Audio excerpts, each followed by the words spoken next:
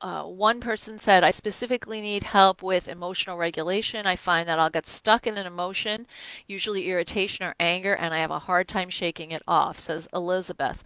It's kind of like you get on this hamster wheel and you're going around and you can't like get off to the water thing, you know, that the hamsters are feed or something. So one of the things that um, we can do when we're emotionally regula- dysregulated is have a very clear, very simple three-step. I'm going to do this, I'm going to do this, or I'm going to do this. Um, and I think that that's helpful, and I would put that on some post its in different places in your life. I'd also encourage you to start meditating or doing yoga or something that helps you regulate your system. So maybe what you want to do in that moment is do some alternate nostril breathing. I know I've talked about this before. It's from yoga. You breathe in, you breathe out. If you're in a public place and you don't want to do that, you could just put your hand on your belly and breathe into your hand. Um, I did it, I've said going to the bathroom, washing your face, washing your hands, um, getting a drink of water can always be helpful. Just change your, your location. Um, uh, uh, when people get emotion overwhelmed and irrationally angry, they they feel to, they feel like um, they they have no control. And when you what you can't stand that feeling, right? It's a very scary feeling for kids. They they can surrender to that feeling, but they hate it, like they're terrified, right? Um, uh, but they don't know how to stop. Adults don't like that feeling either, and they also don't know how to stop. Except with our fully matured brain, we have a few more coping skills. So instead of going into a shame spiral when you're dysregulated, look at your your little tips and try to do one of those things. I'd encourage you to make a playlist of songs to play when you're angry, things that might help you sort of like dance it out or walk it out or just sing it out alone in your car at the top of your lungs or songs that would calm you down. That can help as well. Um, and someone else wrote, uh, "I've uh, lose, letting go of what we can't control," and I think this is a really good thing for us to end on because a lot of us um, can't. You know, we feel like sometimes we can't control our children, and um, you try to be compassionate, you try to remind them, you try not to lose your temper, and you're human, right? This compassion has to start with yourself. So um, this person wrote, I have lost my two outlets for mindfulness that keep me sane in normal times. Also, due to vulnerability, status of my husband and my elder daughter, I've been responsible for all the food shopping for the household. This has meant I have to navigate supermarkets and the idiots that populate them. The experience has been terrifying and traumatic. I need help learning how to let go of what we cannot control.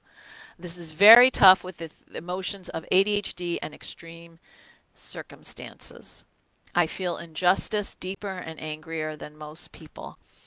Um, letting go of the anxiety, anger, and frustration is particularly hard, even if you know you cannot do anything to stop the trigger from occurring. And that's right you you it's very very frustrating. And it's hard. I'm not saying this is easy.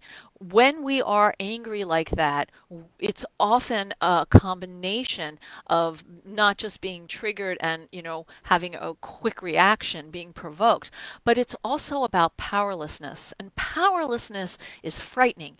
It's uncomfortable. It's frustrating and it's confusing. So instead of aiming to let go of control, which to me is a completely unrealistic goal. Soften your grip. You know, instead of saying, I have to let it go, just loosen a little bit. You can hold on, but just loosen a little bit. Um, so, um, uh, I also wanted to say um, that things are really unjust, especially right now, and um, they're unjust in terms of our the COVID. There's they're unjust socially in terms of uh, economics, racial injustice. Um, housing, food insecurity. There's a lot of injustice, and it is it, it makes us angry and rageful and powerless. We can't stop these triggers from occurring, just like we can't stop our kids being triggered by things. All we can do is adjust our reactions to it and intervene so we don't feel, um, so we don't launch into shame and humiliation. Because when you launch into shame and humiliation, it's not going to teach you the skills you need. Give yourself time and space and specific things to do when you are triggered and help your kids with that also.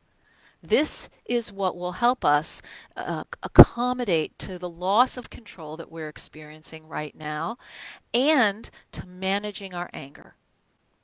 Thank you so much for joining me today. Please, if you uh, need more resources, go to additudemag.com. Um, and their co their COVID virus the excuse me, forward slash tag forward slash coronavirus resource area, as well as the rest of their wonderful resources that are available um, to everyone. I would also encourage you to um, head over to my uh, website, www.drsharonsaline.com, where I have a number of uh, resources um, about anger in particular that you can deal with. Um, check out um, my cart, my recently released uh, ADHD solution card deck, which is a great tool for dealing with anger because there are solutions at your fingertips. You can just pick one and try it. Thank you so much for joining me.